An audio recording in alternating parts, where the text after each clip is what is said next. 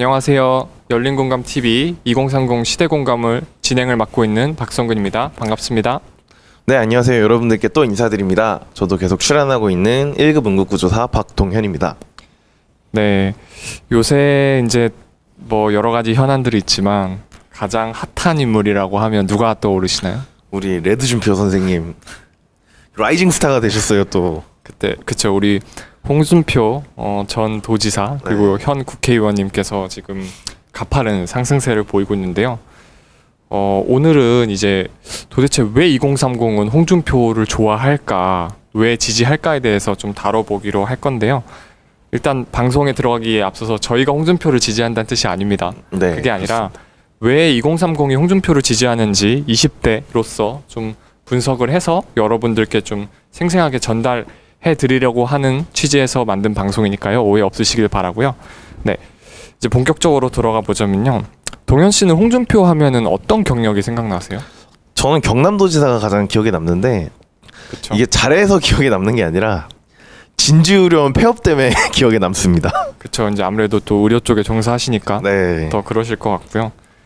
경남도지사 다음에는 이제 자유한국당 대선 네. 후보를 했었죠. 그때 이제 홍준표를 찍어야 자유대한민국을 지킵니다. 네. 그 슬로건으로. 방송에 말하기 좀 애매한 슬로건이죠. 네, 네, 그게 있었죠. 네, 네, 네. 그리고 이제 국회의원 뭐 네. 대구에 가서 그 정말 공천 난맥상을 다 뚫고 당선이 됐죠. 네. 사실 홍준표 하면은 웬만한 여러 가지 뭐 정치인으로서 갖춰야 될 경력이나 스펙은 짱짱하기 때문에 정치에 관심 없는 친구들조차도 어느 정도 전문성이 있는 아, 정치인으로 인식하는 경향이 좀 있어 보여요. 그 고장난 시계도 하루에 두 번은 맞는다는 표현이 있잖아요. 지난번에도 그 지난주 방송에서 제가 한번 표현을 했는데 어, 그것처럼 너무 지금 현 상황에 똑 떨어지는 말을 하실 때가 있어요. 그렇죠.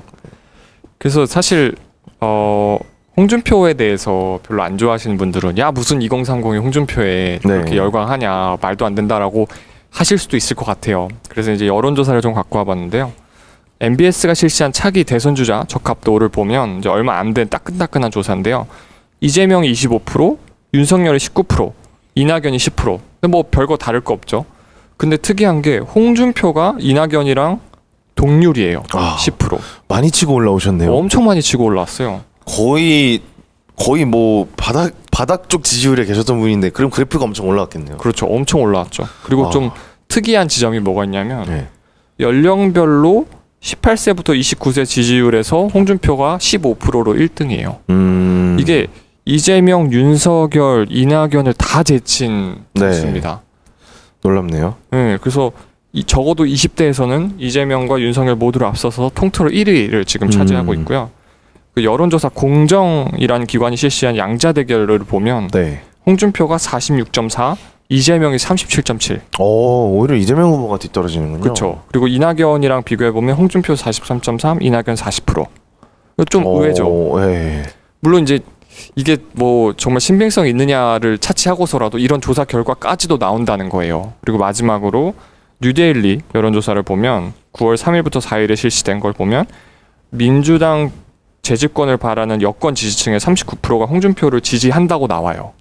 전 그거 뭔지 알 것 같습니다. 어, 왜 그럴까요? 홍크나이트. 그렇죠. 예.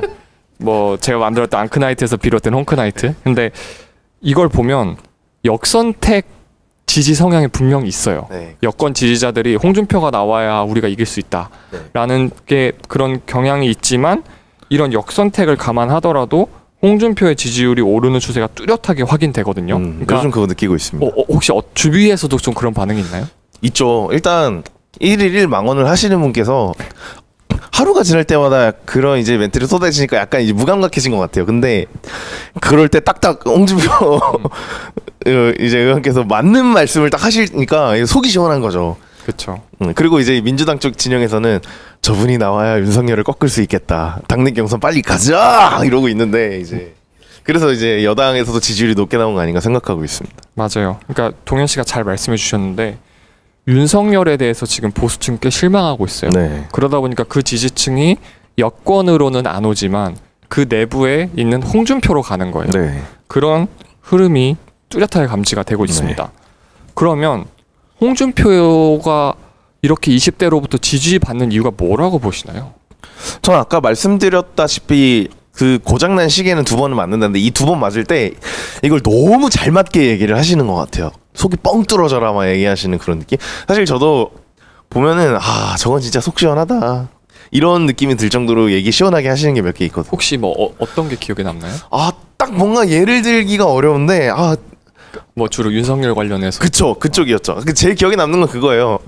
검찰 권력에서 그 나라 정치는 1%도 안 돼. 막 이러신 거 있잖아요. 그 윤석열 대선 후보가 나올 때 이제 아 경찰에서 지배해 본 거 가지고는 그 나라 국정 운영에 1%도 넣으면 안 돼. 막 이러셨던 그게 아 너무 인상의 기억이 남습니다. 어 좀 비슷하네요. 저 사실 성대모사 좀 많이 따라해 보려고 유튜브 계속 보면서 왔습니다. 그러니까 되게 촌철살인을 잘 하죠. 네. 시의적절한 말을 딱 적절한 타이밍에 해서 지지층이든 지지하지 않는 층이든 이렇게 어, 좀 시원하게 긁어주는 네. 게 있는데요. 제 주위에 물어봐도, 그러니까 20대 친구들이 그런 얘기를 하더라고요. 홍준표가 말하는 걸 보면 답답하지 않대요. 음. 약간 안철수 우리 그때 얘기 네. 많이 했지만 되게 답답하잖아요. 간 보고 그래서 도대체 뭐 하라는 거야 네. 싶은데 홍준표의 경우는 정반대 캐릭터인 거죠. 네. 맞으면 맞다, 아니면 아니다. 그쵸. 그러다 보니까 듣는 사람 입장에서는 굉장히 명쾌하고 그쵸. 이게 약간의 어느 정도의 카타르시스를 주는 거죠. 맞을 수도 있고 아닐 수도 있습니다. 이것만 듣다가 이제 어, 맞다 아니다 이렇게 딱 얘기가 나오면 이제 사람이 딱 속 시원하죠. 그렇죠. 그리고 뭐 사실 20대들이 뭐 다른 세대도 그렇겠지만 어 정치 뉴스에 그렇게 많은 시간을 할애하지 않잖아요. 네. 그냥 가끔 이제 뭐 네이버 들어가서 다음 들어가서 보고 유튜브 보고 하는 정도인데 그때마다 홍준표가 딱 간결하게 한 문장으로 이건 뭐 이래서 문제다. 네. 뭐뭐 하냐 뭐 이런 식으로 하니까 그게 팍 박히는 거예요. 그렇죠. 그런 것도 큰 것 같아요. 그리고 그 송곳이 약간 여당만은 향하는 게 아니라 야당도 향하고 있으니까 중도층의 마음이 이렇게 가는 것 같아요. 저는. 맞아요. 그런 측면도 분명히 네. 있는 것 같습니다. 중도층의 지지율이 움직이니까 전체적인 지지율, 홍준표 지지율 오르는 거겠죠. 그렇죠. 네. 그 중도층 표심을 잡으려고 사실 여당이나 야당이나 계속 노력하고 있는 거잖아요. 그렇죠. 그게 이제 대부분 20, 30대 표들도 많을 거고. 그리고 두 번째로는 약간 이게 재밌어요.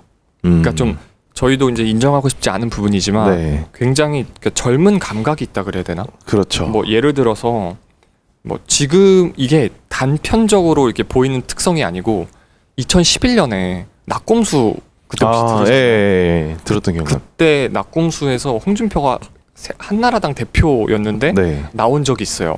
음. 근데 나왔는데 뭐 김어준, 뭐 주진우, 그다음에 김용민 또 누구 있죠? 어, 정. 아 정봉주 네. 아, 죄송합니다. 아무튼 그렇게 네 분한테 까일 거를 알고서도 그렇게 적진 어떻게 보면 적진이죠. 약간 장판파의 장비처럼 그- 그냥 그렇죠. 예, 홀로 예. 모든 짐을 짊어지고 그렇죠. 나가는 그런 느낌이었죠. 와서 이야기를 한다는 게 쉬운 게 네. 아닌데 그때 제가 그때 반응을 봤는데 굉장히 반응이 색달랐어요. 음. 야 이거 진짜 홍준표 뭐 좋아하진 않지만 네. 뭐 지지할 의향은 없지만 그래도 좀 재밌네 네. 이런 의향도 있고 보수 중에는 약간 꼴통만 있는 줄 알았는데 좀 다르네? 이런 이제 반응도 좀 보였어요. 물론 이제 진주 의료원 사태 터지면서 아, 네. 뭐 그런 약간의 호감은 완전히 사라지긴 했지만 어쨌든. 그것도 있고 사실 무상급식 논란도 있었어요 이분도. 그쵸. 어떻게 보면 안철수랑 되게 닮아있는 앙크나이트 홍크나이트 무상급식. 네 자꾸 아 죄송합니다. 떠오르네요 이게. 네. 그쵸. 그래서 짤 중에 대통령님 제 역할은 여기까지입니다. 뭐 저를 밟고 가십시오. 뭐 이런 네. 짤들도 있고 했었어요. 약간 사실 궁극의 문재인 지지자라는 별명도 있잖아요 그렇죠. 어떻게 보면 이제 장 저- 지난 대선에서 홍준표가 출마했기 때문에 안철수 표를 갈라 먹은 것도 그쵸 그렇죠. 네. 그렇죠 근데 이제 이런 제, 그 유권자들의 재미를 유발하는 홍준표의 특성이 계속해서 발현이 되고 있어요. 음. 예를 들어서 혹시 홍카콜라 보셨나요? 아 네 어, 어떠셨나요? 와, 아 근데 되게 아 트렌드를 잘 따라가시네 이분 유. 이- 되게 잘 이용하시네 이런 게 느껴졌어요 그렇죠. 그러니까 배현진 네. 지금 이제 의- 당시에는 뭐 의원이 아니었지만 네. 배현진 당시 대변인하고 네. 나와서 홍카콜라를 진행하는데 어 이 이 양반 진짜 좀 트렌드를 읽을 줄 아네 네. 말씀하신 대로 네. 그런 것도 느꼈고 되게 직설적으로 딱딱딱 네, 치고. 나가니까 네. 사실 20대들이 보수 유튜버들 그렇게 많, 많이 보지 않는데 네. 보수 정치인 유튜브 네. 근데 홍준표의 홍카콜라는 많이 보더라고요. 그쵸. 그때 좀 어떤 면에서 느낌이 좀 쎄했었는데 네. 그 기조가 사실은 지금 완전히 포텐이 터진 거죠. 네. 얼마 전에 이제 윤희숙 의원 사건 때도 단톡방에 약간 폭탄을 던지고 나가셨다는 썰이 있잖아요. 아, 네네. 숭어가 뛰니 망둥어도 뛴다. 그러고 삭제하고 퇴장했대요. 근데 그게 물론 이제 보수 지지층에서 야뭐 뭐 왕말하냐 이러겠지만 그 한마디로 네. 굉장히 간결하게 이 상황을 요약했잖아요. 그러니까요. 저는 그게 타고난 어떤 재능이라고 봐요. 네. 그건 노력한다고 길러지는 게 아니거든요. 맞아요. 어, 약간 타이밍을 잘 하시는 것 같아요. 아, 내가 등판해야 할 땐가 이렇게 쓱 등판하셔갖고 음. 던지시고 이제 이닝은 마무리하십시오. 이러고 나가는 느낌. 그렇죠. 그 정치는 타이밍이다라는 네. 말이 있는데 타이밍이 예술이다라는 말이 있는데 진짜 그 타이밍을 잘 잡는 맞아요. 정말 뭐랄까 선천적인 재능이 있는 것 같아요. 그러니까 이제 고장난 시계 타이밍 딱 잘 맞게 시계 딱 맞추고 이제 그 다음부터 또 이렇게 가다가 또 한 번 또 맞고 그렇죠. 그런 거죠. 그리고 최근에는 그 무야호 아시죠? 예. 예. 무야호가 어디서 나온 거였죠? 무한도전에서 그쵸. 알래스카 특집 갔을 때 그렇죠. 무한 무야호. 그, 아, 저 그래서- 많이 많이 준비해 왔습니다. 그래서 그 밈이 좀 유행을 했는데 네. 요새 홍준표 후보가 무야홍이라고 아 무야호. 해가지고 페이스북에 이런 것들이 돌고 있더라 이러면서 네. 좀 이슈화를 시켰는데 그거 보고 야 저거 진짜 참 잘 캐치했다 이런 그러니까요. 생각도 들고 어떤 면에서는 좀 약간 위협적으로 느껴지기도 하더라고요. 사실 그게 보좌관이나 어떤 그런 보좌진들이 제의를 해도 후보가 소화를 잘 못하거나 후보가 거절하면 그런 밈들이 안 나올 수 있잖아요. 어색해지죠. 그쵸. 예. 아, 또 우리 대선 후보 한 분 생각나는데. 누가 생각나네? 아, 아시잖아요. 네. 이요.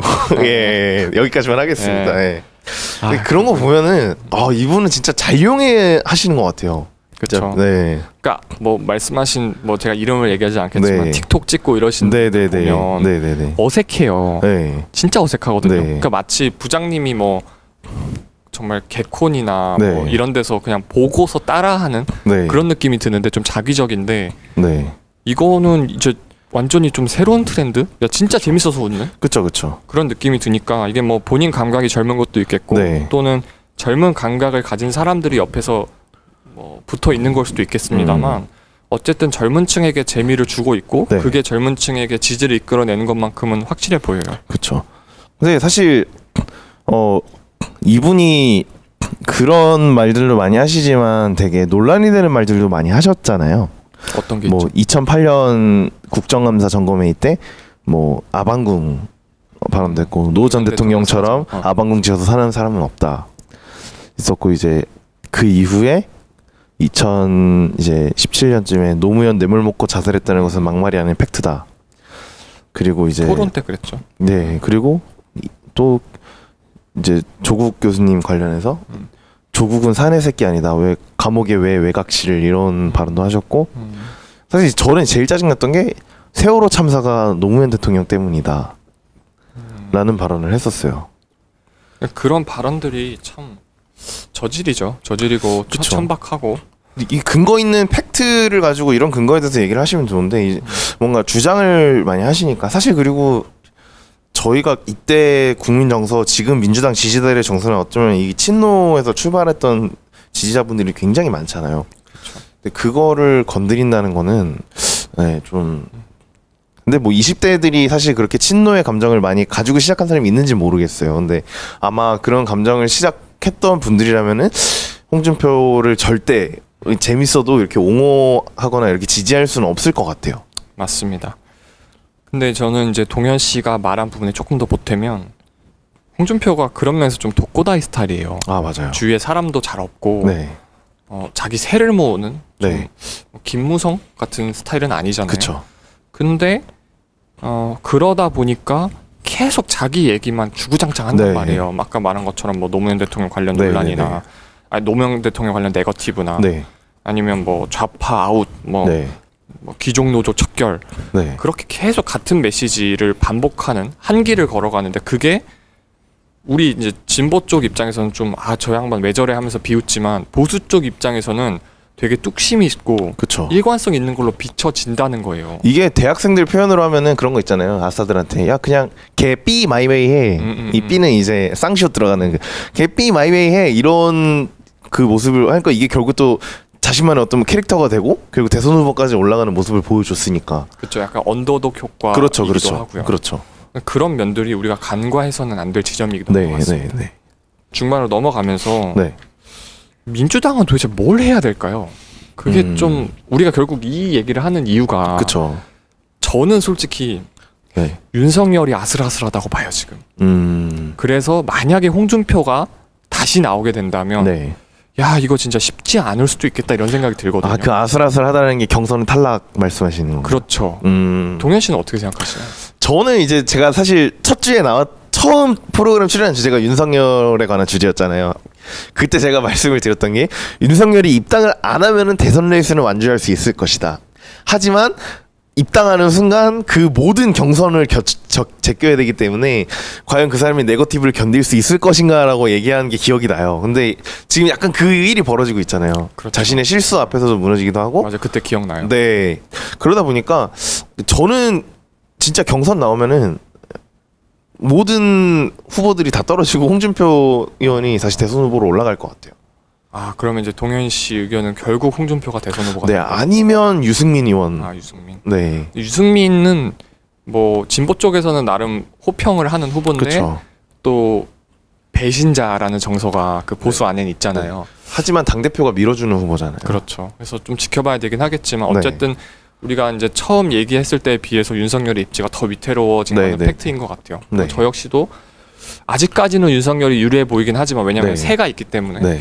근데 이거 확실할 수는 확신할 수는 없다. 네. 그런 생각인데요.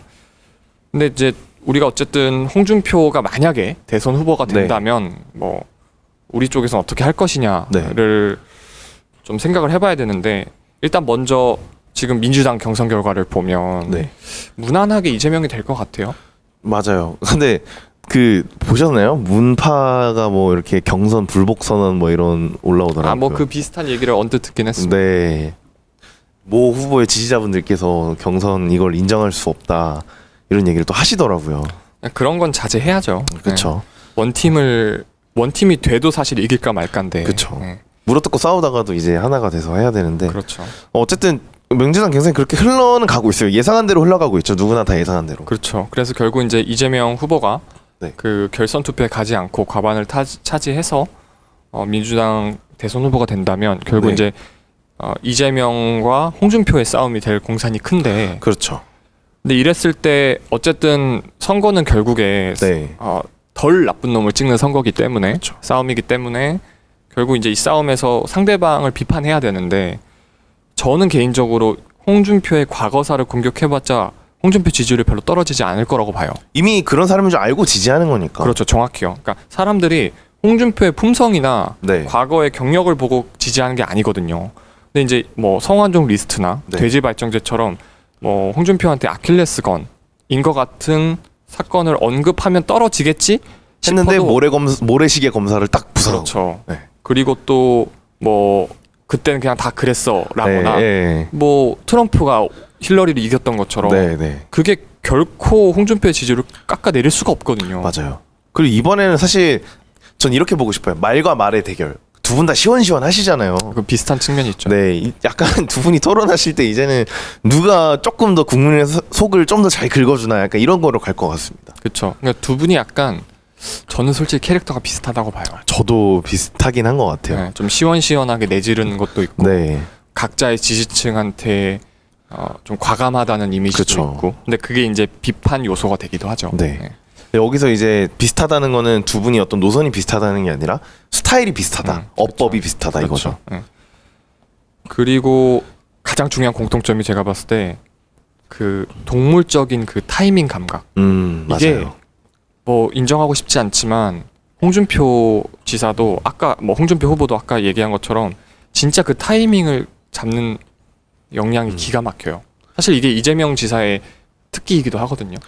제가 그 20대 친구들한테 물어봤었을 때 이런 얘기를 들었어요. 낄낄빠빠를 잘한다. 음. 이 낄낄빠빠가 뭐냐면 낄 때 끼고 빠질 때 빠진다라는 의미인데 그게 두 사람 두 후보 아니 두 후보가 아니라 두 분한테 적용이 다 되더라고요. 맞아요.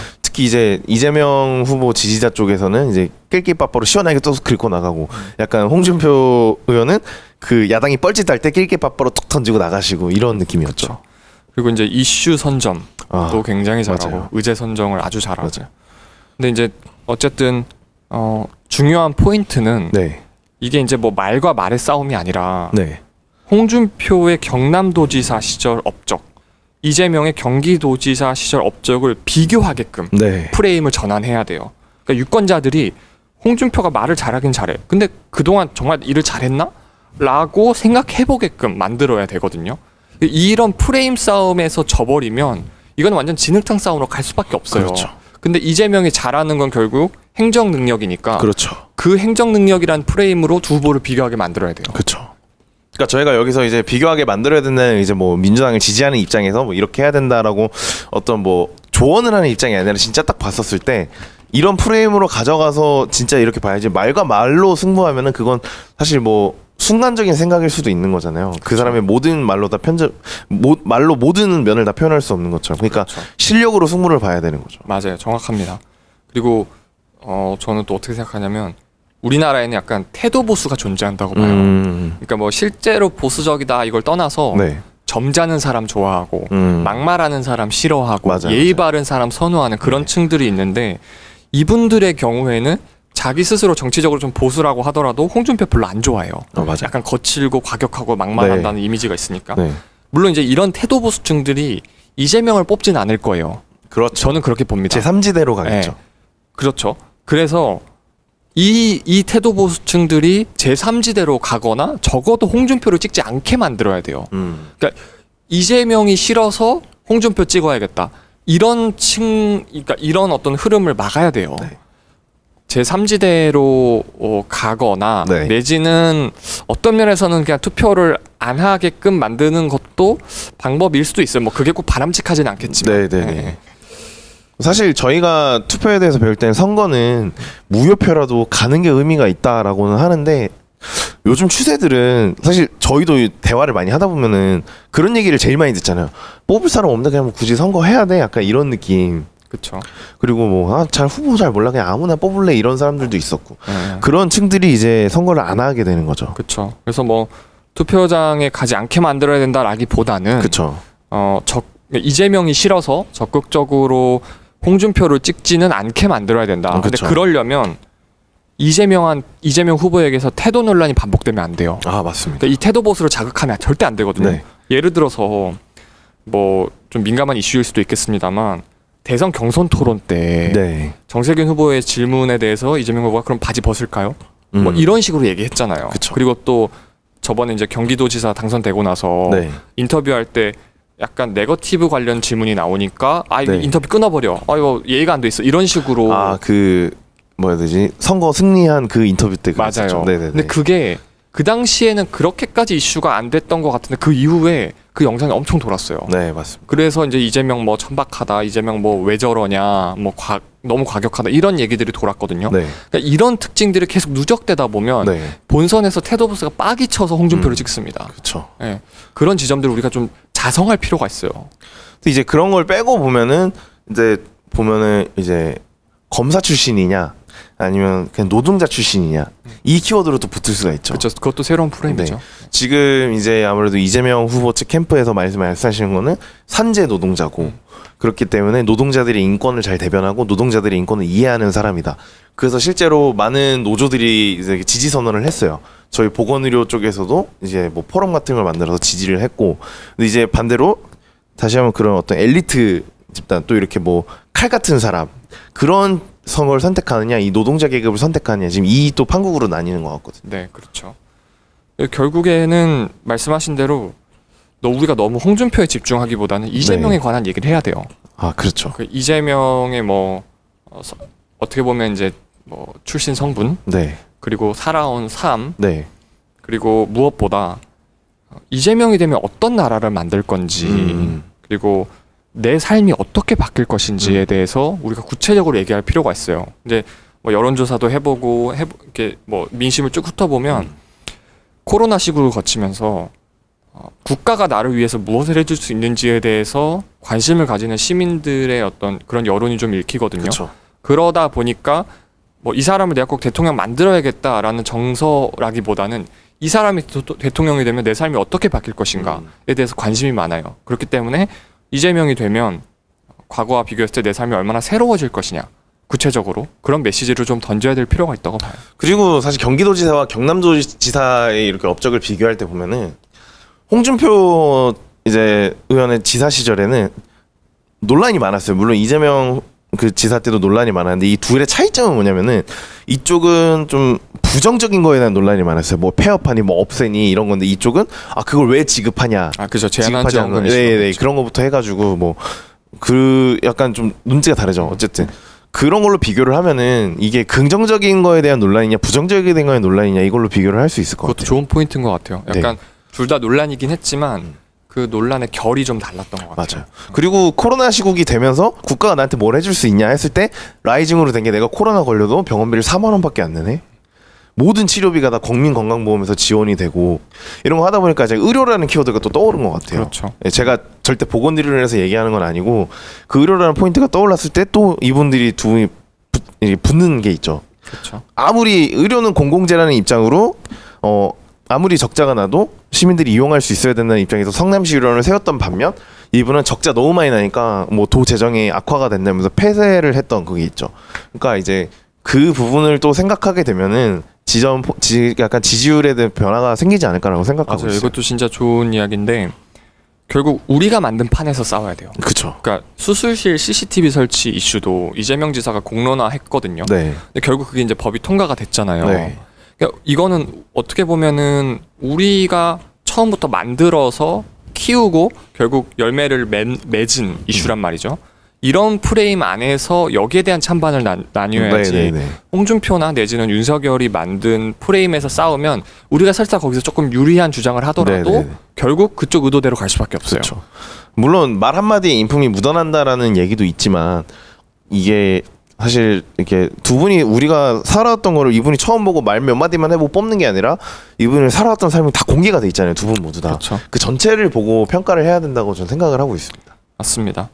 그래서 뭐 이제 마무리를 하면서 네. 좀 결론을 내보면 음 저도 그렇지만 솔직히 아, 민주 진영 내에서 네, 아, 이재명 후보를 탐탁치 않게 생각하는 사람들도 좀 있어요. 있죠. 현실적으로 분명히 있죠. 네, 저도 지금도 그렇게까지 뭐 이렇게 막 열렬히 지지하고 그러고 그러는 성향은 아닙니다. 네, 그런데 어쨌거나 우리가 원팀이 돼서 네. 해야 될 일이 있고 네, 또 만약에 여기서 이제 정권이 바뀌어 버리면 그동안 문재인 정부가 추진했던 여러 가지 어, 사회적인 정책들이 완전히 거꾸로 역행하는 그런 결과가 나올 수 있기 때문에 어, 설사 완전히 뭐 내 마음 같지 않아도 좀 더 진짜 원팀이라는 마음으로 분열하지 말고 끝까지 가야 되지 않을까 그런 생각이 듭니다. 저는 이거를 생각했으면 좋겠어요. 우리가 문재인 정부가 탄생했을 때 우리가 분명히 밝히고 싶었던 사안들이 너무 많았잖아요. 비밀들.